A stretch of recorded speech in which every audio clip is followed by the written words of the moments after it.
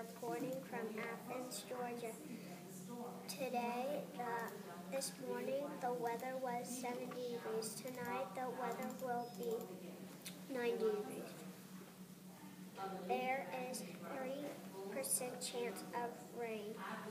Remember to bring your sunscreen.